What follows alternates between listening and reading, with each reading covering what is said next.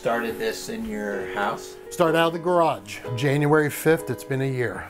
So we just celebrated our first anniversary a couple weeks ago. We moved here October 1st. Outgrown it already.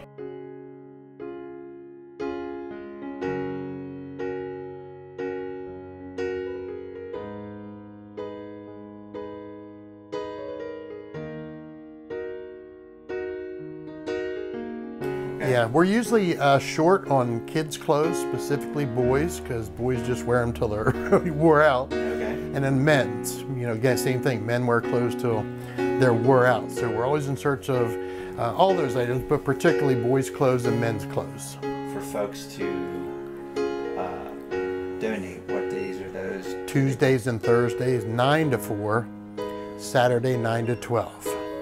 Well, we, we accept everything from obviously all kinds of gender of clothing, all kinds of sizes, from newborn and preemie, all the way up to, we have as large as 4X. Uh, shoes, socks, underwear, bras. Uh, and then, of course, we do home goods, pots and pans, toasters, blenders, practical stuff that folks would need. Uh, silverware, utensils. Uh, and then we also do shoes for uh, boys, girls, women, and men. Uh, we do DVDs.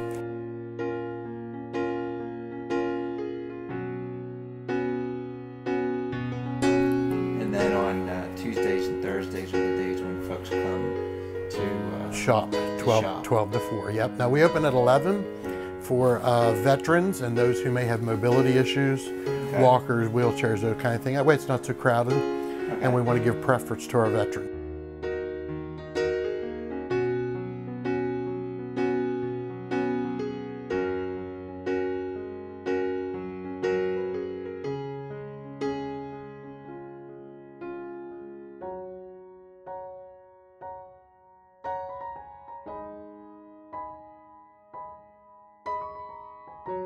Everybody, including myself, is all volunteers, so we don't have any overhead expense as far as um, payroll and that kind of thing. We do have to have insurance, obviously, so Right, right. we have insurance on other volunteers, the directors and officers, liability insurance, event insurance, those kinds of things. We have about 25.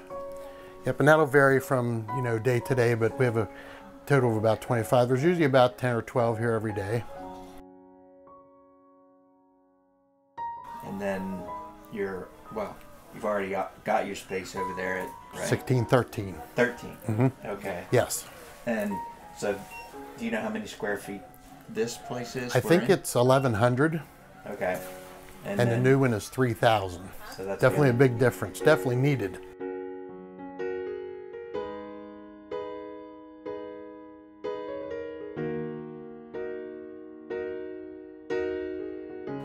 What type of fundraising events or things do you have like throughout the course of the year? We do several. We've done uh, a spaghetti feed this year so far. We have Taco Tuesday coming up in April. Um, tonight we're doing a free skating uh, party out at Blue Mountain Roller Rink.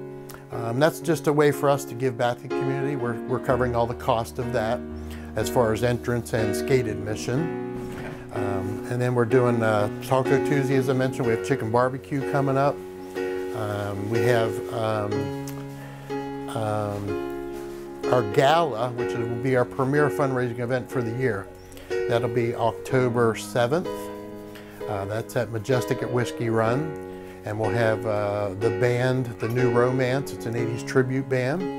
And we'll have a dinner and a photo booth and small games of chance and some breweries there. Uh, that'll be our, like I said, our premier fundraiser event for the year.